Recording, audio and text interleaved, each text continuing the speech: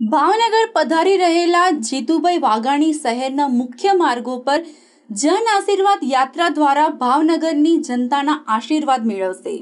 પરંતુ મંત્રીની યાત્રાના રૂટમાં જ ખાડા હતા. તો રાત્રે આઠ વાગ્યે મેઘાણી ઓડિટોરિયમ હોલ ખાતે નાગરિક સમિતિ તથા ત્રણસો જેટલી સંસ્થાઓ દ્વારા જીતુભાઈનો સન્માન સમારોહ યોજાશે. જો કે સવારથી જ કોર્પોરેશન દ્વારા મંત્રીના રૂટ પર ખાડા પૂરી રોડ રિપેરિંગનું કામ હાથ ધર્યું છે. કોર્પોરેશન દ્વારા અંદાજિત સત્તર સ્થળો પર રિપેરિંગ કરવામાં આવ્યું છે. આ રેલીમાં મંત્રી મહેન્દ્રભાઈ મુંજપરા, મંત્રી આરસી મકવાણા, રાજ્ય શિક્ષણ મંત્રી કુબેરસિંહ કીર્તિસિંહ વાઘેલા પ્રભારી કશ્યપભાઈ શુક્લ પણ હાજર રહેશે. કેબિનેટ શિક્ષણ મંત્રી જીતુભાઈ વાઘાણીની જન આશીર્વાદ યાત્રા આજે તારીખ નવના રોજ બપોરે ત્રણ કલાકે નારી સર્કલથી શહેર ભાજપના હોદ્દેદારો, પદાધિકારો, ચૂંટાયેલા પ્રજાના પ્રતિનિધિઓ, નગરસેવકો, કાર્યકરો, વરિષ્ઠ આગેવાનો યાત્રાને આવકારશે.